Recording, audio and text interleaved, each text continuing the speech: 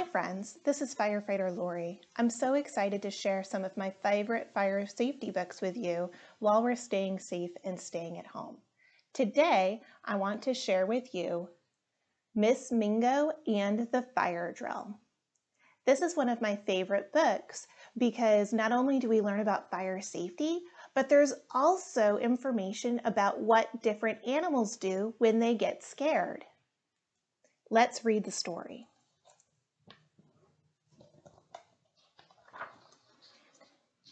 Miss Mingo and the Fire Drill by Jamie Harper.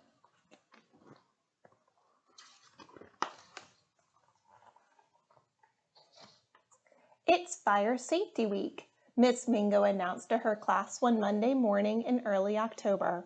We'll be learning what to do in case there's a fire. My Grammy had a fire, Alligator said. It was in her frying pan. The smoke detector went off and it was really scary, and my French toast got burned, but I ate it anyway. Everyone agreed that sounded very scary. Panda started barking. Elephant trumpeted. Bird growled. Animals use a number of defense mechanisms to protect themselves from danger. Many of them make loud, harsh sounds to scare off predators.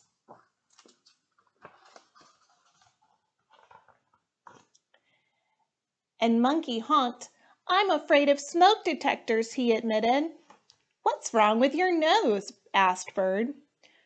When danger threatens, the proboscis monkey honks loudly and its large, fleshy nose swells and turns red. Before Monkey could answer, the room started to shake. Elephant was stomping his feet and flapping his ears. I'm afraid of fire trucks, he cried. Frightened elephants stomp their feet and flap their ears and trumpet. Younger elephants may push their ears way out to the side to appear more threatening.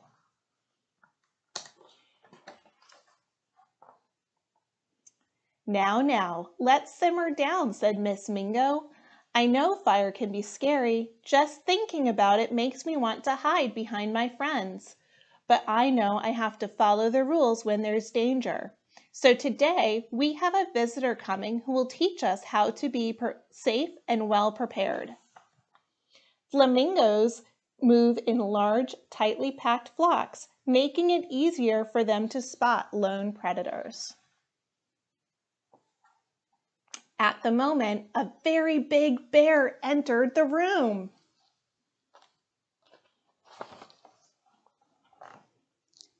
Good morning, he roared. Snake hissed loudly and puffed up his body as much as he could. When threatened, the hog-nosed snake inflates its body to resemble a cobra. It also flattens its head and hisses. Pig darted away from the bear and dove under Miss Mingo's desk. No need to be afraid, Miss Mingo reassured them. It's just Chief Grizzly under all that gear. A startled pig will run away and then quickly turn around to face whatever frightened it. If necessary, it will charge its enemy and use its tusks to attack.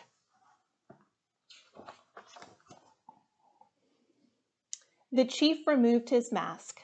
Firefighters need to wear all of this to be well protected, he said. It's called turnout gear, Frog said proudly. It can weigh up to 70 pounds. It didn't take long for the class to warm up to Chief Grizzly. What do you do when the smoke detector sounds? he asked the class. Get out and stay out, yelled Frog. Right again, said Chief. Does anyone know what to do if your clothes catch on fire? Everyone knew the answer.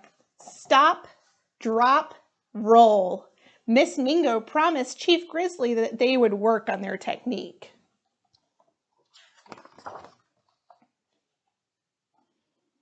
On Tuesday morning, Miss Mingo explained that sometime soon there would be a fire drill.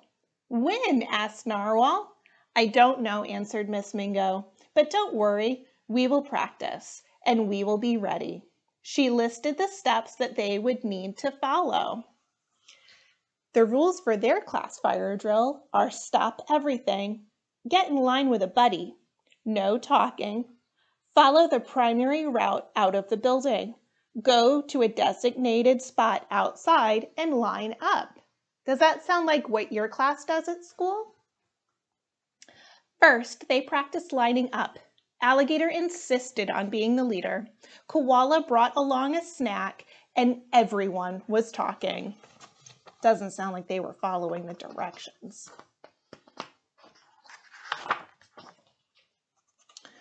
Remember, said Miss Mingo, everything stays here in the room. Even my eucalyptus? asked Koala. I can't leave it behind. Koala was so upset that he started rubbing his chest and growling.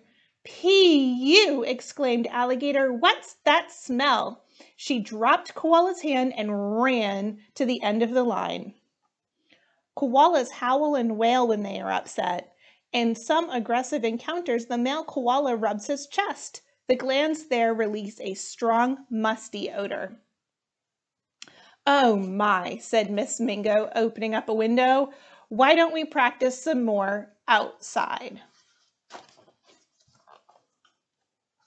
Today, we will take the primary route to get outside, Miss Mingo said as they left the room.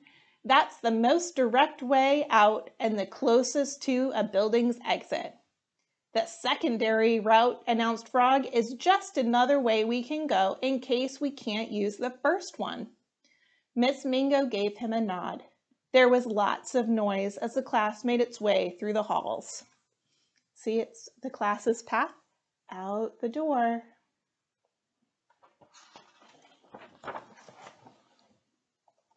Finally, Miss Mingo's class made it to the meeting spot outside. Miss Mingo called each student by name. When Panda didn't answer, she scanned the schoolyard.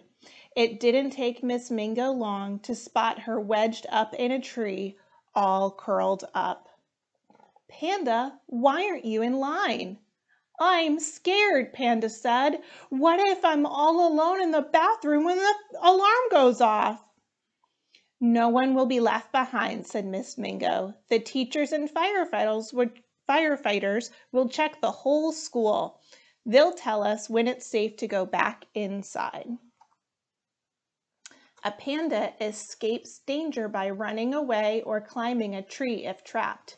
It growls and swipes with its paws, or simply covers its face and curls into a ball. On Wednesday, Miss Dillo, the lunch monitor, came to eat with the class while Miss Mingo ate in the teacher's lounge. Suddenly, a loud sound ripped through the classroom. Excuse me, said Hippo, wiping his nose. It's the fire drill, yelled Co Cockroach. No, no, it was just a sneeze, cried Hippo, but no one heard him. Giraffe was so frightened that he tipped over his chair. Stop, everything, please, Miss Dillo said. Cockroach was hissing loudly, which made the centipede mad. If faced with danger, giraffes can deliver a deadly kick with their front legs, powerful enough to kill a lion. Their speed also helps them escape. Cockroaches attack other insects by kicking them with their legs, which are covered with sharp bristles.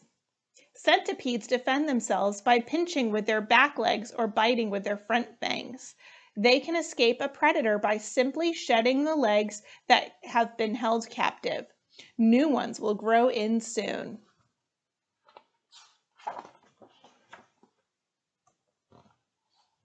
Stop, Hippo yelled. It isn't the fire drill. It's a real fire? Alligator screamed. Miss Dillo rolled herself into a ball. Alligator thrashed her tail wildly. Thwack! Everyone stopped to watch Miss Dillo fly across the room right into Hippo's mouth. Pelican smacked him on the back and out popped Miss Dillo. She rolled out of the classroom just as Miss Mingo returned from lunch. Mercy me, Miss Mingo cried. To stay safe, the three-banded armadillo rolls into a grapefruit-sized ball, completely enclosing its body within its leathery plates or armor. A mother alligator defends her hatchlings against predators by hissing and chomping her jaws and using her most powerful weapon, her thrashing tail.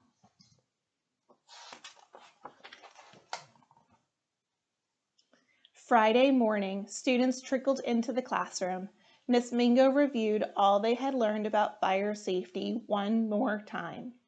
During the morning meeting, a siren blasted and bright red lights flashed. It's here, hollered Pig. It's the fire drill, Octopus cried. He squirted a cloud of ink into the classroom.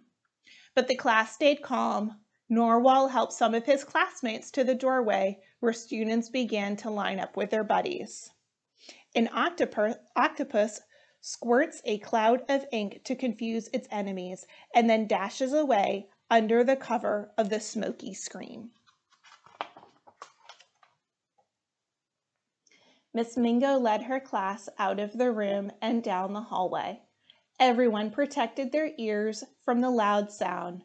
There was no talking, there was no running, and no one stopped at the cubbies, although Alligator tried.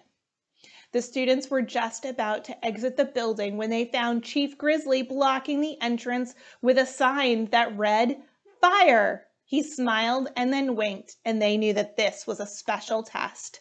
Frog nodded, and the class filed out using their secondary route. Outside, the class formed a perfect line and stood in perfect silence where Miss Mingo called out every name. There, they were the very first class to be ready. Miss Mingo was so proud of her students, and so was Chief Grizzly, who rewarded them all for a job well done. The end.